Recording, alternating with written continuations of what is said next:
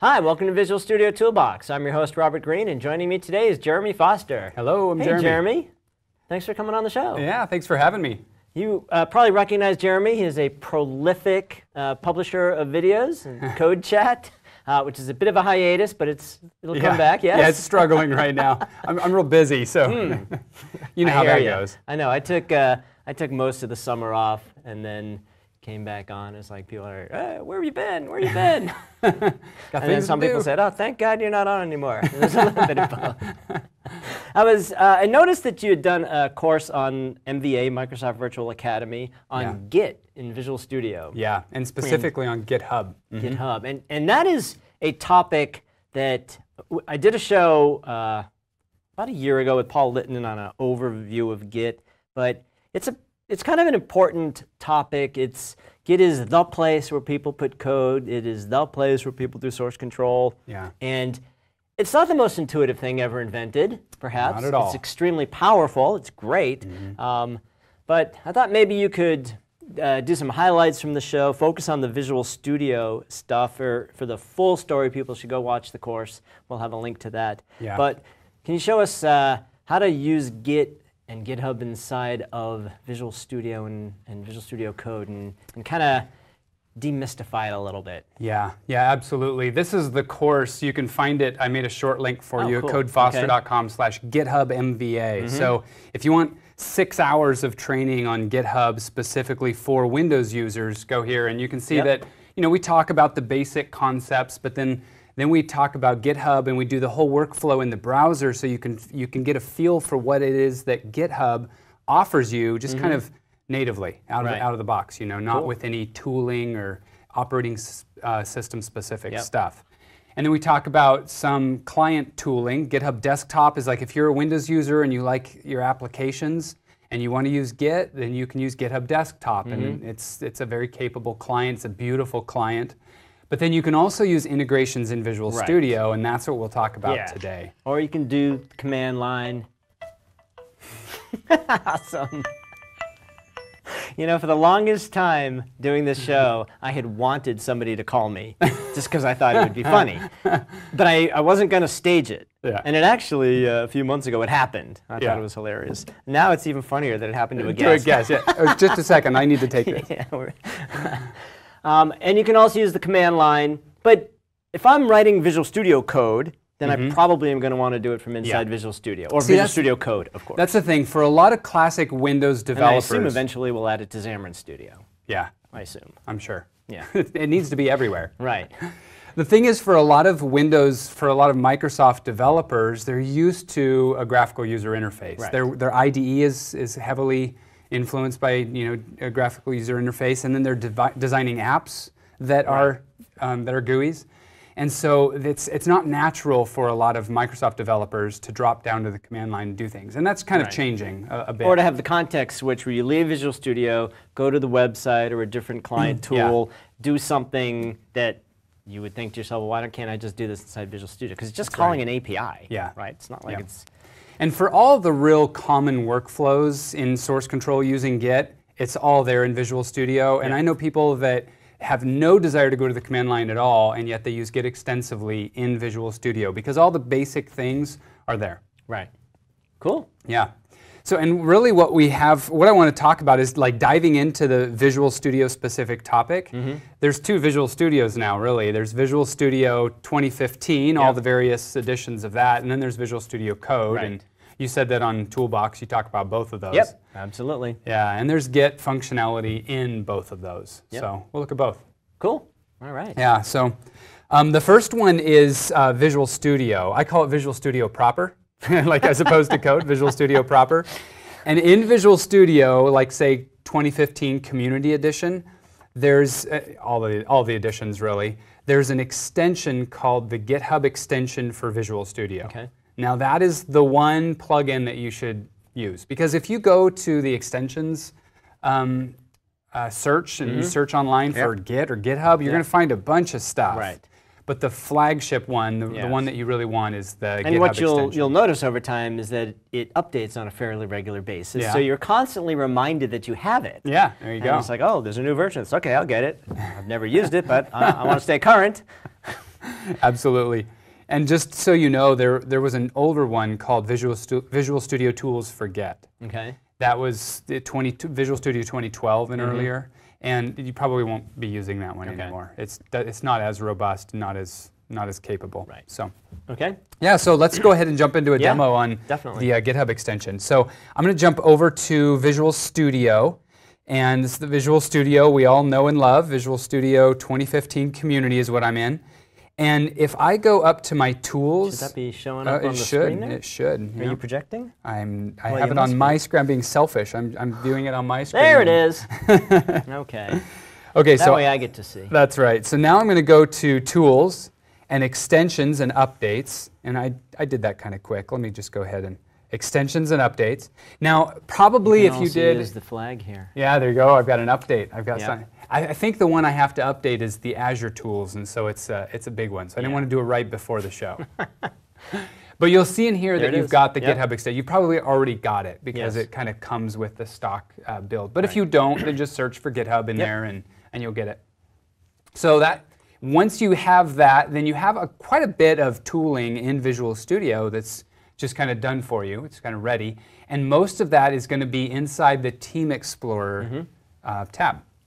So in Team Explorer, now you can get lost in here, but um, you can always go back home and you can look at what um, different providers you have and you can I clicked on the little connect thing and you can see that you've got GitHub in here. Right. But let me draw your And your VSTS. yeah, that's right. Yep. So yeah, so you can choose, and Visual Right. Studio, of course, you can do either. And uh, I want to draw your attention to the fact that there's a GitHub section in here, and there's a local Git repository Yes. section in here. So it's confusing, but Git is a technology, Right. and GitHub is a service online. It's a company that that uses Git. and- Right. And, facilitates you using Git, and you know it's it's your uh, cloud Right. provider. I think the two terms are kind of used together. Yeah. People, you know, when you say, "Oh, you should put that in Git," you know, GitHub, Git. you Right. know, I think people kind of think it's the same thing, but you're right. right. Git, Git is the underlying plumbing, right? And GitHub is a repository, an online repository, if you will. That's right. I'm misusing the term, but an online place Yeah. where you can put code. Yep, absolutely. Yeah, and really, Git like Git is an, a, an offline source control. So Right. I have the entire copy of the repository, and then if you're working together with me on a project, you do too, Right. and so does Jane and Yep. Jill and Joe. We, but then we all we all could communicate directly with each other, but it would get difficult. Right. So it's nice to have a common place in the cloud, and that's what GitHub becomes. Okay. Yeah. So right now I have two of my projects on. This isn't showing me all the stuff I have in my GitHub. I have a lot more repositories than this, but here are two of them Okay. that I'm kind of working on now. And when you use these commands, just think this is in the cloud. So if I clone, I'm cloning from the cloud. That's copying a repository down from the cloud. If I create, I'm creating a repo in the cloud. Okay. Okay. So repo or repository is a basically, is it a project? Is it a solution? Is it a folder? Yeah. So when you're coming from the Visual Studio world, Yeah. you have to do that mapping. Right. And it's really it's none of those or any of those. Okay. Whatever you want it to be. A repo is just a collection of files and folders. Okay, so it is a collection. Yep. It is Okay. a collection. Now, some people um, will say, you know what? I've got a solution with four projects in it. That whole thing belongs in one GitHub repo. Mm-hmm. Other people will say um, they might have a GitHub repo that's even one level higher, and they have a folder with all of their graphics that's not in Visual Studio, maybe. Okay. You know, it's like all their, their website graphics and stuff like that. And then they have a folder called code, and that's where they have all their code. So you could go a, high, a level higher. You could also go a level lower, and this is actually very common. There's some good arguments for this. You could have a different GitHub repo for each project in your solution. Okay? There's some real reasons to do that because if a GitHub repo represents a single project, Yep. then it makes it easy to deploy that project to something like Azure. Okay. Okay, because that repo represents the entire Hmm. project. Okay. So clone that pulls something It down. might I- make it easier if you're working on a solution with a whole bunch of projects and you and I are only working on a couple projects each, then I might not want the entire solution brought down. I may just want to work with my, the repo, which represents the project I happen to be working on. That's true. right? If you have a gigantic Yeah, okay. solution, all the more reason to break it out because otherwise anybody that clones your repo is Yeah. cloning the entire solution. Right. Okay. Mm-hmm. I've worked on some really big solutions in the past that have 125 projects in them and that you would n- never want. You could put all of that in GitHub, but Right. probably wouldn't want to. Okay. Okay, so the create there creates it on the web. Let's just go ahead and do that. I'm going to go ahead and hit create right here, and it's going to bring up this little uh, dialog box. Actually, let me jump back and say if you don't see this yet, you see GitHub and you have a little connect button. That means you haven't signed in yet. Okay. So you click connect and sign in. But now I can just create a, a repo, whatever I want. Let's call it whatever I want and I can give it a description or I don't have to. Now this is telling Visual Studio where I want to put the local version of this. So I'm kind of doing two things. I'm Can you creating control it in the that cloud. path? Absolutely. Yeah, there's uh, settings in here. Okay. And in the settings you can tell it where your default path is. I don't remember exactly where it's at. Um, but it's in here somewhere. What you want it to, for, to be for your default path, and you can also set your um, user information. What are, what's the best practice for that? Well, you know what I do is I put everything under code. Yeah. That way, all my paths are really short. Some- it's really easy to get to. Yeah, the problem with putting things under users Mm-hmm. is if you then need to repave your machine, Yeah. um, then you need to remember to have copied that. Except Off, for this, right? most of the stuff in my code folder is already, Oh, it's already in the up in the cloud as well. Okay. That's right. So I can right. wipe out that folder at any time and then Yeah. just.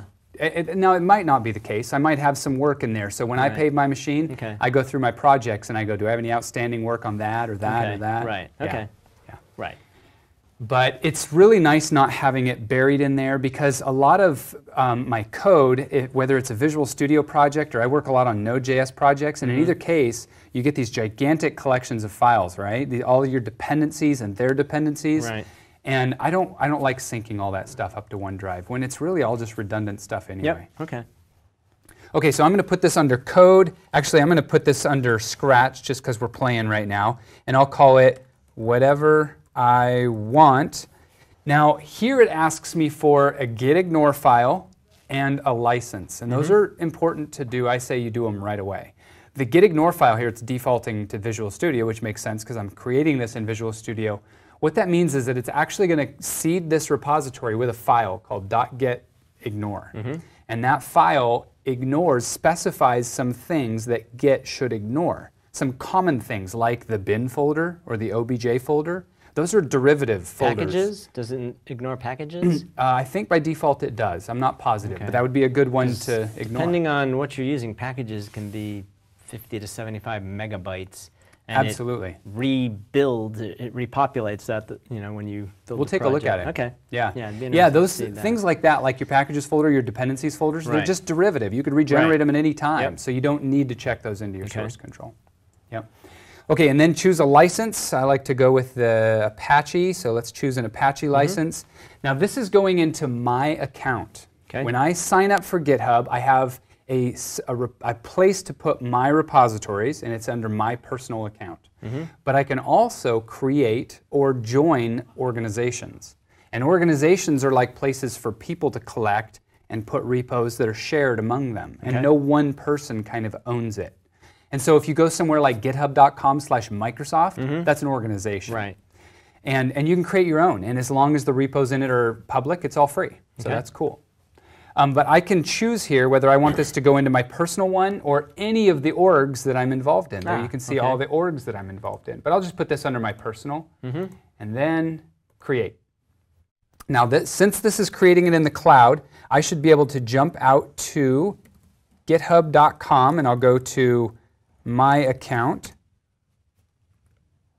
and I'll go to my repos and look at that. Whatever I want Okay. exists. Yep. And let's click on it. Should it have anything? It should. Because we specified that we want it seeded with some files. Yep. The git ignore, let's look at that. And let's see if we can find the packages folder in here. I'm guessing that it is in there. It's pretty big. There's a lot of stuff that you know that you NuGet might find. packages. There, There it is. Okay, I got it. Yep. Awesome. Ah, nice. It's nice for that to And be then ignored. you, if you wanted to include those, you could just edit that Yep. file, presumably, Absolutely. and have it include the packages. That's right. And then it also gave us a README file. This README file is a little bit special because whatever is in it is what shows up on this page. So if you send somebody to your GitHub repo, mm-hmm. like you're creating some sample code and you want to tell Right. people, go here and look at it. Yep. Well, when they first get there, you want it to look nice. You want it to look like you're doing something with it. Exactly. Looks like you created it once and abandoned Yeah, it. exactly. exactly. Yeah. Now we've got no code in here Right. yet, so it's sad, wah wah wah. But let's jump over to Visual Studio and let's go to the whatever I want that I just created. Now, when I created it up here on GitHub, it also created for me this local repository. Okay, two very different things, but it made both for me. Let's go to the whatever I want. And now we're in a little more specific page inside of Team Explorer. And mm-hmm. this section at the bottom is interesting. It says solutions, new or open. This is Visual Studio saying, I'm, I'm Visual Studio, so I only work with solutions and projects. That's how you open code in Sure. Visual Studio. So I'm looking for some. There aren't any. Okay. I found three files in there. None of them was a CSPROJ or whatever. So let's say, all right, let's go ahead and create a new one. And it opens the familiar uh, File New Project dialog box. Let's create a C Sharp console. Interestingly, create new Git repository is checked. Yeah, and I actually I don't know how that will behave. I'm going to go ahead and uncheck that because you already have a repo. I have a repo. I don't mm-hmm. want this Okay. to be its own repo. Glad you pointed that out. And it is going to create a folder, and it's going to put it in that whatever I want folder by, by default. And here we go. Okay, so I've got myself a nice little project. Now, that SLN file now shows up here so that if anybody else pulls this project down from the web, opens it in Visual Studio, and then double clicks on it, they'll see under Solutions a solution. And so it's easy to open it in Visual Studio. Now, if I go back, I'm sorry, I didn't want to go back. Let's go back forward. If I go to changes, it should show me that I've got a bunch of Yep. stuff that I haven't checked in because I just created a whole project and none of that stuff is checked in. Now, by the way, I'm going to jump to this in my command line just to show you that Okay. everything you do in Visual Studio is 100% in sync with whatever you do with Git anywhere else. So if I'm in Visual Studio, or if I'm on my command line here, and I go into my Scratch folder, into whatever I want, I see this whatever I want repo, and there's my stuff.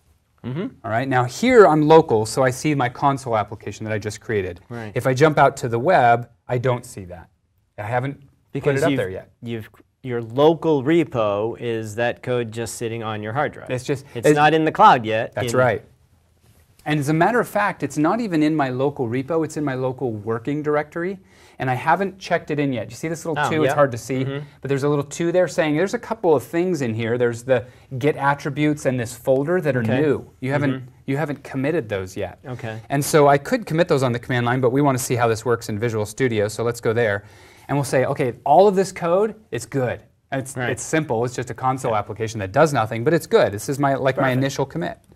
So I'll say initial commit, Mm-hmm. and then I'll say commit all.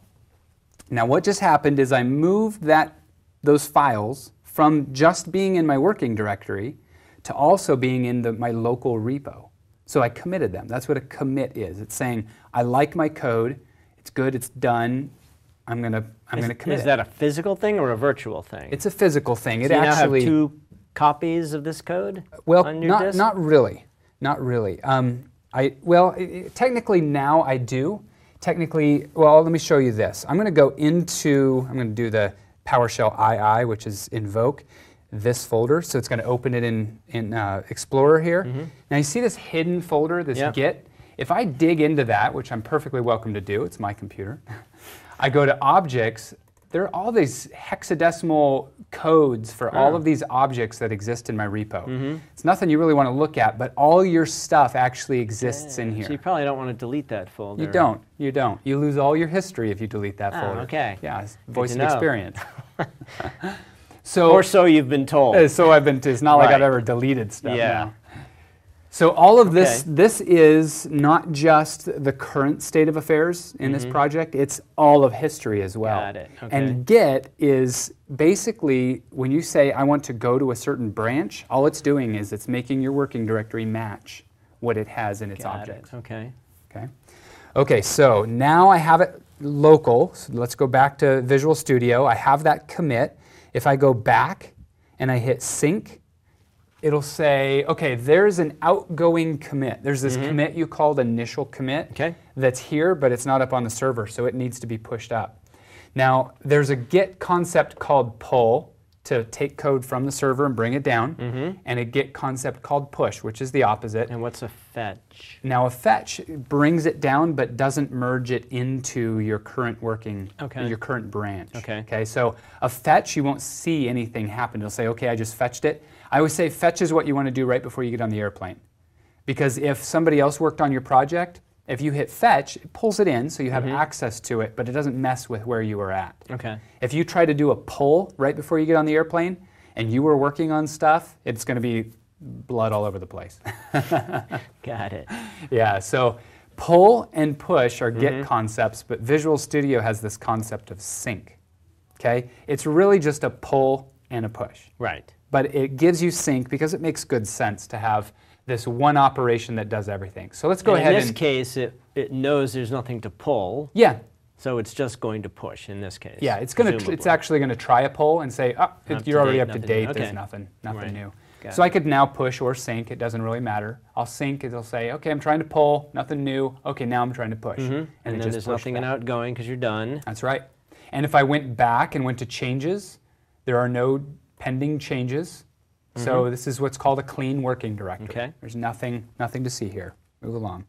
Now, if I jump out to the web and hit refresh, now we can see There that it my code's up Yep. there. It's up there. Now let's go into there and look at the, not at the solution, but at the program.cs, which is where I'm going to write this code. And it's a blank, right? Mm-hmm. It's blank right now. So let's go make a change in Visual Studio. Here we go. Let's do a console write line. Hello world. There it is. Now this is gorgeous. I mean, all the, the code I just yeah. wrote here is perfect. I love it. I've tested it. It, it. it checks out. So let's go ahead and push this in. Now, if I look in my Team Explorer under Changes, I see that this file has mm-hmm. been changed. And I could actually compare this with the unmodified version to see what my changes are. Which is another reason not to delete that hidden folder Git because folder. it's this is looking locally to do that. Exactly. presumably. It's Right. looking locally. Absolutely. Okay. Now, I have mine configured to use as an external tool. You could use Visual Studio as well, but mine's using an external tool, and I'll cancel that. All right. Okay, now I'm going to go ahead and this is this is just perfect. So I'm going to say um, created hello world, and I deserve an exclamation point on that. Now these are the changes, and I can choose to stage or unstage. This is a concept that we haven't talked about yet. You know that we have a working directory that's the, our files and folders.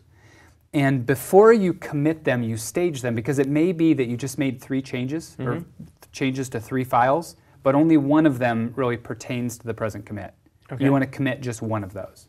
Okay, so I go, yeah, let's go ahead and stage that one. It says, well, first you got to save it. That makes good sense. I'm used to Visual Studio Code where it just saves automatically. So, okay, now that's a staged change, Okay. which means that if I do a commit, that's what's going to get committed. Does that make sense? Okay, so the staged changes get committed. That's right. Got it. Okay. Mm-hmm. Anything down here doesn't get committed. Okay. As a matter of fact, let's go ahead and create another file in the Solution Explorer. Let's do a um, add a new item, and I just want a text file. Text file. There it is, text file Mm-hmm. one. Now let's go to the changes, and look at this. I've got text file one, and by adding a file, I changed my project. Yep. But neither of those do I want to commit right now, because this was just the creation of Hello World. Got it. So I stage that change, I add my commit message, and I go ahead and commit it. Can you promote one change at a time, or Yes, do you you have can. to do everything in there? Everything in that file, Yeah. you can. or It's everything, because the the plus is at the oh, changes Oh, level. Can you oh, just promote that? You can, yeah, whenever, whenever you right click on one of these, you Oh, can there you go. stage just Okay. that one, Cool. or you can promote everything. Right. Yep. And I th- what I thought you were asking is also kind of interesting. If inside of this one file, I had 100 lines of code, a little block at the top that I changed, and a little block at the bottom that I changed, it may be that those are completely unrelated changes, right? Mm-hmm. And so I could just commit part of that file. Oh, really? And what it actually does is internally it kind of splits that file, interesting. Okay. stages the part, just the one change, and and then I can commit that separately. And that's a good idea because if you are looking through your team's history Mm-hmm. and somebody said, I made a bunch of changes, that doesn't help you. You know, Right. it's hard to read that. Mm-hmm. And so if it says, I did this, and then I did this, and then I did this, those make a lot more sense. Okay, so I staged one file and committed it. Now let's go ahead and stage the rest and make a separate commit. So I'm going to stage that. It asks me to do some save. That makes good sense. They're mm-hmm. both staged. And for this one, I added a text file. Commit that. Okay, now locally, I have two commits. I've, Right. I've not touched the server. Locally, I have two commits. And to see those, I go back and I go to sync, and it'll say outgoing, there are these Okay. two commits. Yep. Okay? And this is why it makes really good sense to have very atomic commits. Only the only changes, all, all the changes in a commit should pertain to the same atomic change in code. Okay? So if you're if you're just going crazy every once in a while, uh, you know, like do one thing, like add some console logs, and then go check that in, and then um, enable your key In reality, check that in. in reality, do people do that, or do they just Uh, check everything Good in at the end of the citizens day? do. Good citizens do. Yeah. No, people don't. Let's not be uh, let's let's not be judgmental. In the real world, is that the way most people do it, or do most people just I think most people do atomic Okay, commits. That's alright. part of the culture of, Okay. of Git. It could probably it could be better. Sometimes people have you know a few changes from one file, but people definitely don't just check all their code in at the end of Mm-hmm. Got the it. day. Okay. That doesn't happen. Okay, so two staged or two commits outgoing, ready to go. I Mm-hmm. go ahead and do a sync, and it's going to pull. Nothing to pull. It's going to push, and now those changes are out there on the web. so, you don't have to sync them separately? Right. Okay. When you sync it up, it pushes Right. all of those commits up. Now, when I go to this repo to my code, I see that I have four commits, and if I look at my commit history, there they all Ah, I was just about to ask you, where's the history? There it is. Yep.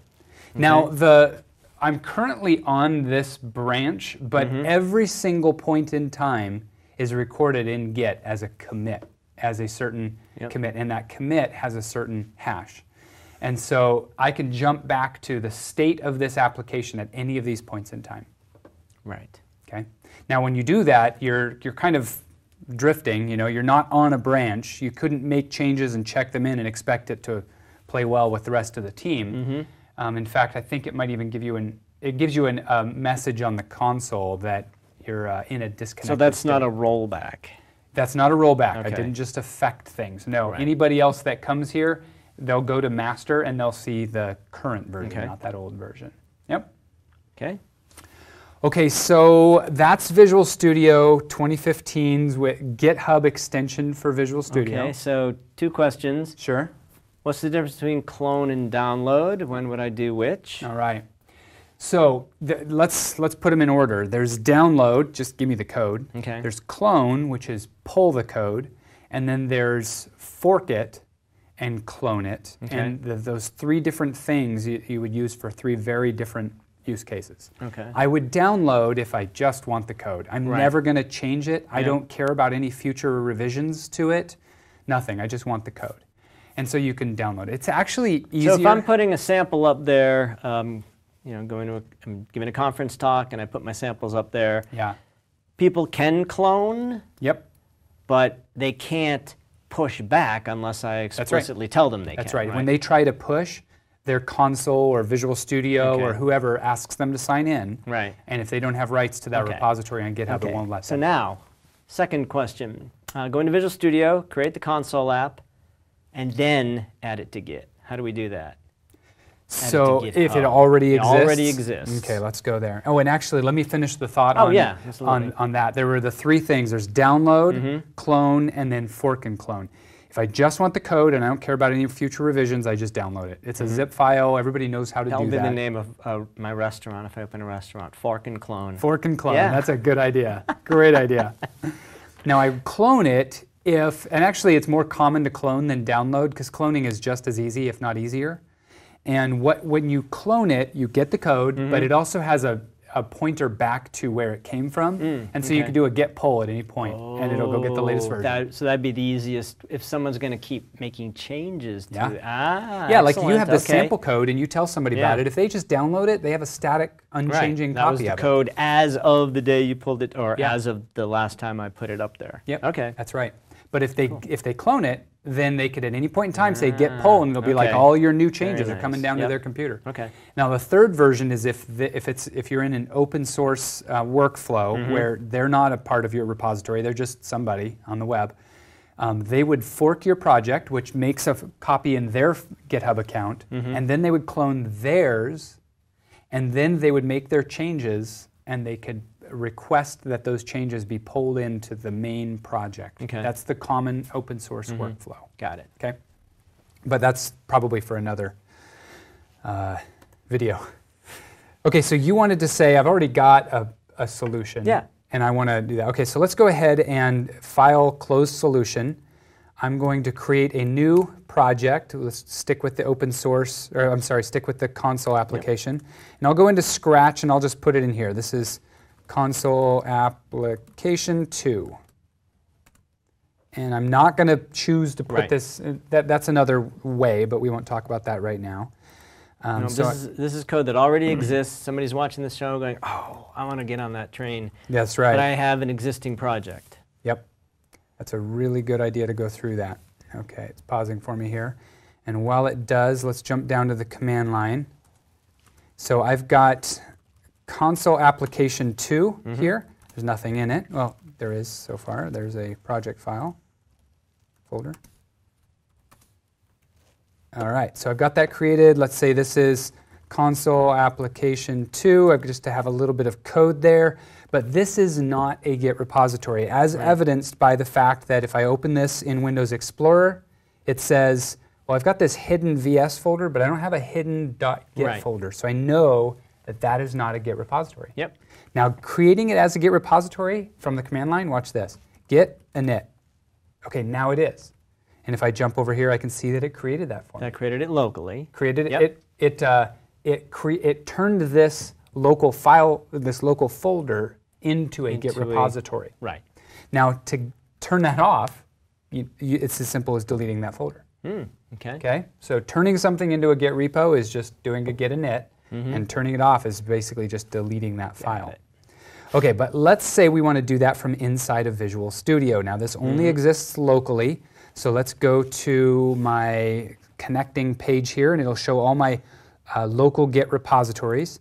Now, there is an option in here. You mentioned, uh, can you change the settings? And it would be really cool if I could find that. Here it is. Drop that down and choose Settings.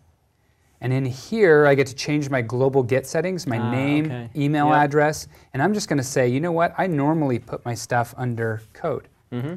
And there's a couple of other options. This is actually a really good one to choose. Enable the download of author images from third party. That way, when you're collaborating with people, you get to see their avatar okay. in there. So I'll go ahead and update that. And this is where I've got my diff mer- and merge tools configured to use Oh. beyond compare. But Okay. That's for another day as well. Okay, so let's jump back here. And now, right now, I don't see that as a local repo just because I haven't brought it in here. If it, if it scanned your whole hard drive and brought in every Git repo, it'd probably be too Right. busy. So it waits for you to add them. Not create a new one, but to add an existing one. So I'm going to add, it's looking in code, but I'm going to say, no, I'm actually interested in, oh, and you know what? I think I've, I've got backwards on this because if I go console application 2, if I look inside there, that's not going to be a Git repo yet. So I think I do want to create a new one. New, and let's go ahead and browse for it. Let's browse for Scratch, console app 2, console app 2. Okay. Mm-hmm. Create that. Now, it already exists and it's not empty. Okay, so I'm confused here. Let me try. Let me try. It might be add. I don't normally do this. Let me. We'll go into Scratch again. Console app 2. Console app 2. Okay. Add. All right. So that was the workflow. Ignore Okay. my first thing. All right. So if you have a folder that already exists, it's already a project, then you, you want to create a new GitHub repo mm-hmm. out of an existing folder. You do that, and now it should be here, right? Expect it to be in here. Let's go look in here, and it did not actually do it. So, Robert, I'm all confused. I'm all Uh-oh. washed up.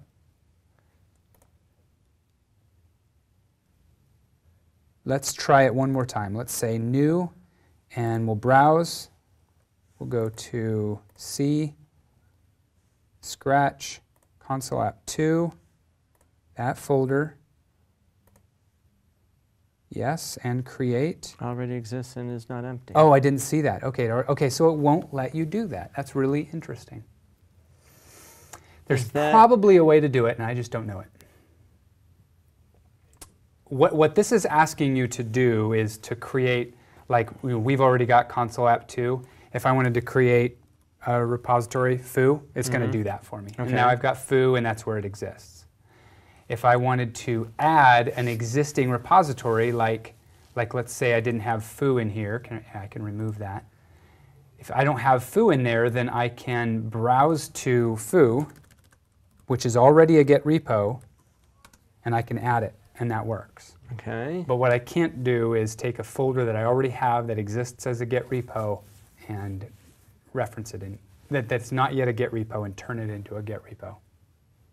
So then what you need to do is create the empty folder with the repo and copy the files over? Which would probably be a good idea anyway.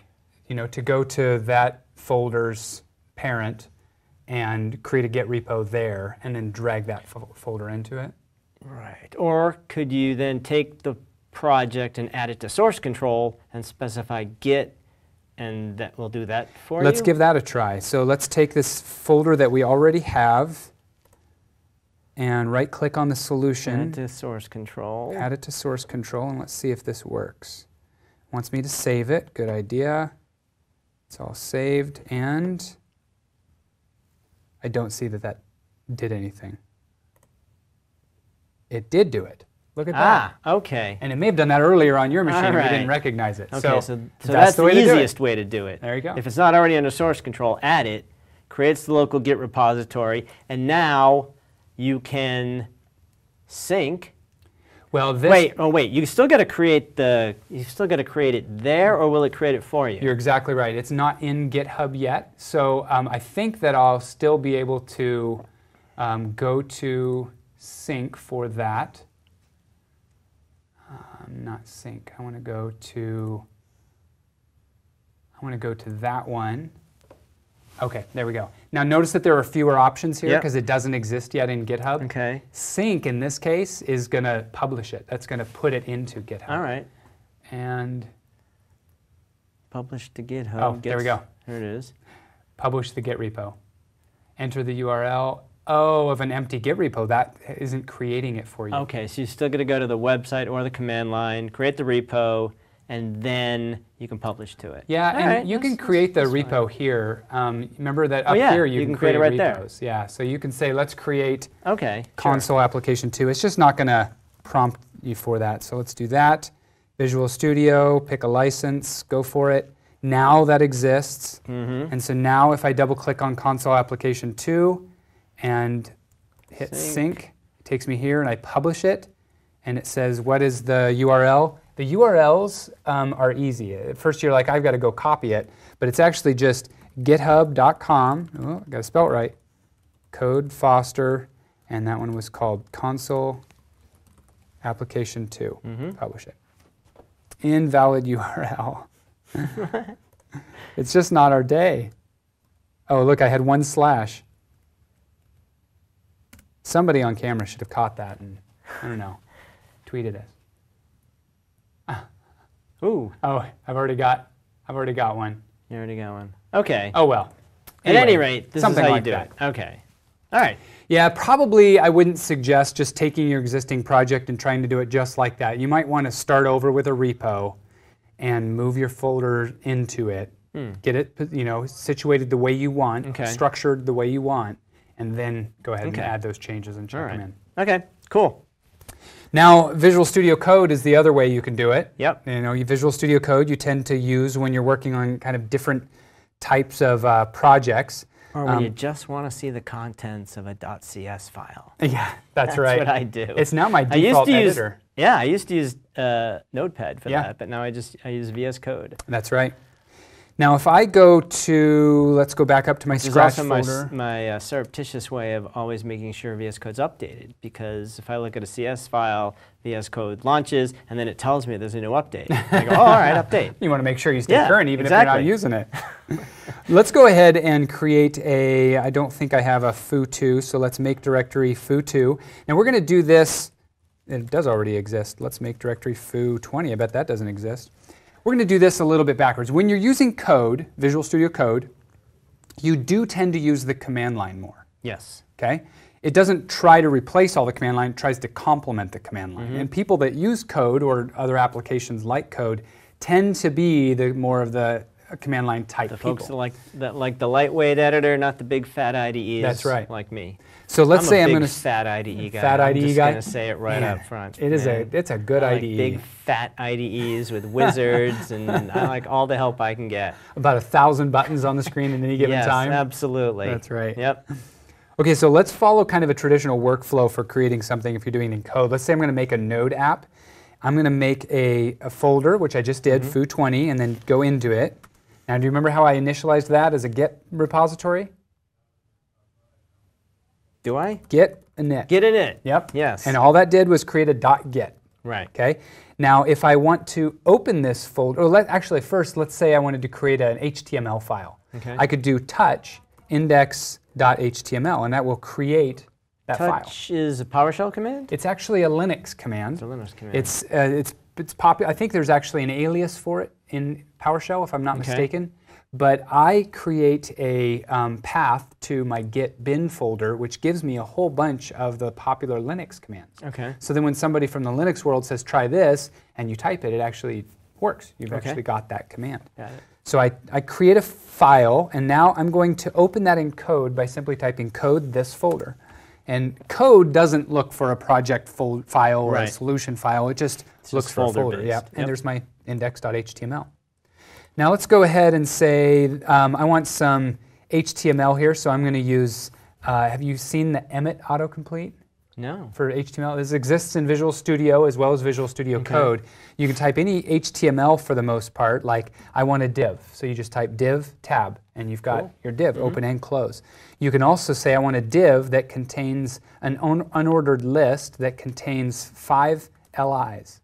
Ooh. And I want those to all have some lorem ipsum text. and it creates all that for you. Nice. It's extremely handy. And so I, whenever I'm creating an HTML file, HTML colon 5 is a good way to get the basic HTML Okay. template. So let's say um, in here, let's just have a line that's just A.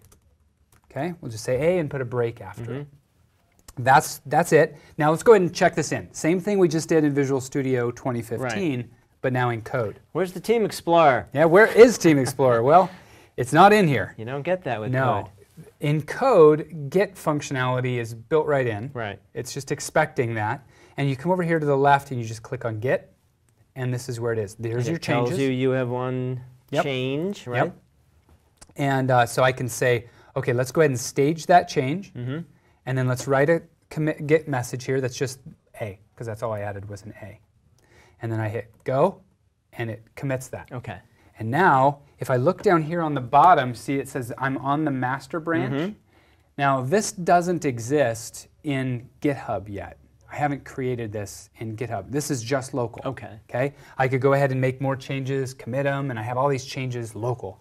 Um, it is a Git repo, but it's not a Git repo in the cloud at all. Okay. And if I look down here, I see master, but there's normally an icon next to it that represents your connection to the cloud, and it's not there because I'm not connected to the cloud yet. In Git terms, what that means is that if I say git remote, show me all my remotes, actually, git, yeah, git remote, v says, says verbose, show me all my remotes, it says you don't have any remotes. Okay. In other words, you're not connected to, you're not referencing a certain place in the cloud. Okay. Okay. Now here, just like in Visual Studio, we went to the GitHub section and said create a new one in GitHub. Yep. Here, we, we would do this on the command line. So what you would do is you would npm install. You can type it out or you can just do an I. A global tool, so mm-hmm. dash G, and it's called GH. So there's a tool out there in the community in the npm repository called GitHub GH, and that is a really good command line tool for accessing GitHub. Okay. So it's different from Git. So you Git- do that outside of code. Outside of code. I'm on the command Okay, line. Outside of code. All right. Absolutely. And it doesn't matter if you use code or Notepad or or um, no, Notepad plus But you plus can or- do that from inside code. you inside code. You can open your command line, but you're still doing it on the command line. Okay. Yeah. All right. So I'm cr- I'm installing GH. I already have that, so I'm going to back that out, and I'm going to say GitHub repo, and then tell me what I can do with the repo command. And the GH command is going to say, well, here's all the cool things you can do with GitHub repos. You can scroll up a little bit. You can browse them, clone them, delete them, get details, fork them, list them. You can create a new one. Let's do that. Let's say GH repo dash dash new, and we'll call this foo20 because that's what we called Okay. it locally. And now that is going to, on GitHub, it's using GitHub's API, on GitHub it's going to create the foo20 repo, and then it's going to open my browser and show me that, hey, foo20 repo actually Okay. exists. I, I wish it didn't open the browser. I don't actually need that. I want to stay on the command line. But that exists now. And now if I say git remote and show me my remotes, it's still not connected. Right. So now I would need to manually tie that up. And so I could say git um, remote add one called origin. That's what by default people call their main remote. And I want that to be a pointer to. I can I can go out and copy this. That'll be a little bit faster. I'll go ahead and get the clone URL and paste that in here. And now if I jump over to Visual Studio Code, it's going to say in just a second, ah, I see that I have a connection to the cloud now. Although the branch that you're on called master is not yet published. So that's like a pub. Notice that that icon looks like an arrow going to the Yeah, cloud. okay. That's the publish arrow. So let's go ahead and publish. Boom. So you're sure you want to okay. publish master to the origin remote? And there we go. It's going up. Uh-oh, there was an error. Anytime Visual Studio Code, Visual Studio Code is really just calling Git commands on your Yeah. behalf. So you can show the output command down here, and it'll show you uh, what what happened that was that was bad. Let's look at this. Oh, I was in the wrong. in- I was in the wrong one. I was in what I whatever I want. Let's go to foo20. This is the command that I want. Now you'll get to see the inner workings here. Instead of git remote add, I'm going to do git remote set URL of origin to this. Changed that. Now let's try this again. We'll jump back to Visual Studio, try to run that.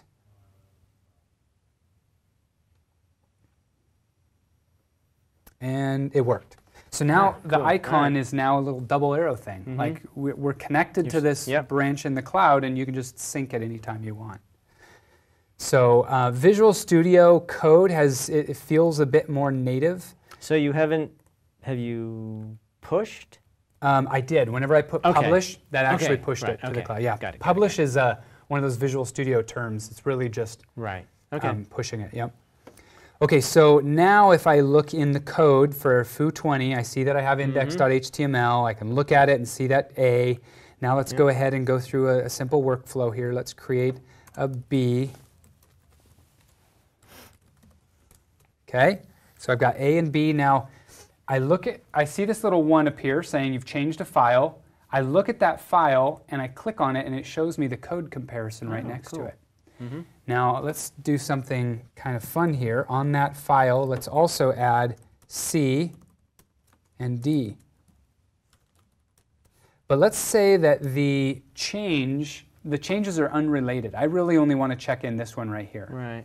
So I can highlight that line, and in Visual Studio Code, I can say, I just want to stage that one oh. line. And check this out. Now, over here, I've got Yeah. a, oops, in my Git, I've got a staged change, which is just the C, and I've got a pending change, which is the B and the D. Mm-hmm. So now I can say C, I added C, commit that, and now let's go ahead and stage this one, B and D.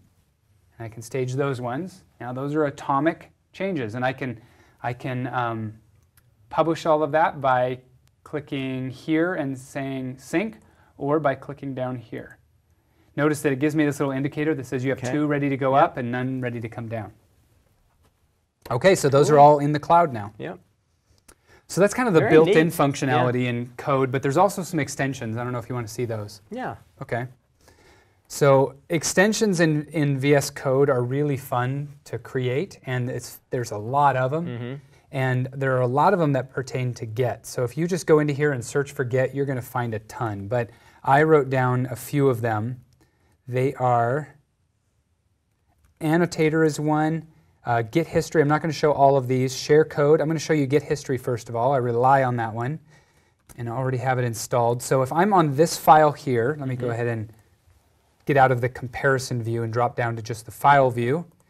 If I'm in this file and I'm wondering, okay, so this is what it looks like now, but what did it used to look like? Right. I can jump up to my command palette and say git history. And first of all, I can show the history overall of, of my, this basically just shows me all my commits. But I can also say git history, and I just want the history of this one file. Yeah. And there it shows me all my commits. And for any, ones of, any one of those, I can say, um, for the B and D, I want to compare that against its previous version. Or I can compare it against what I'm looking at. So let's compare it against its previous version, and it says, ah, here, this was that change. Nice. You added a B and a D. Yeah. Very nice. You can do that for anywhere you want in all of history. Now, you were talking about sharing sample code Mm-hmm. at events. If you want to share an entire project, just create a Git repo. But if you just want to share a snippet, Right. you just want to tell people, here's how you make that call. And it's just one line. You don't want to create a repo for that. You just want to share that code. Well, you, in that case, you would create a gist. Gist. And that's, Mm-hmm. that's a GitHub thing. GitHub has gists. And so you could go over to GitHub, gist.github.com and create it. But there's also a plugin. So if you're wanting to share this code with somebody, Mm-hmm. you can go to share code, and I don't have the extension installed right now. Share code. Let's install it. Now, whenever you install an extension, Visual Studio Code makes you reload the window in order for that extension to be recognized. So after the installation. Visual Studio does the same thing. so Oh, yeah? Yeah. Usually. that's right. Oh, yeah, it insta- makes you restart the program. Yeah, here it just restarts this instance of Mm-hmm. Visual Studio Code. And so you have to hit enable, and what that does is restarts it.